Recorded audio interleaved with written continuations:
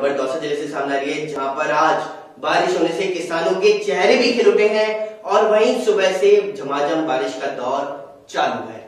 तो आइए नज़र डालते हैं पूरी रिपोर्ट की ओर। दौसा ज़िले के सिकंदरा क्षेत्र के समाज गाँव में इंद्रदेव मेहरबान हो चुके हैं। बारिश से आम लोगों को राहत मिली है और किसानों के चेहरे भी खिलते हुए नज़र आए हैं। तो कई दिनों से बारिश नहीं होने से किसानों के चेहरों पर मायूसी छा रही थी। आज वो मायूसी खुशी में तब्दील हो गई और सूखती फ़सलों को जीवन दान मिल चुका है। साथ ही मौसम भी सुहावना हुआ और लोगों को गर्मी से राहत प्रदान हुई।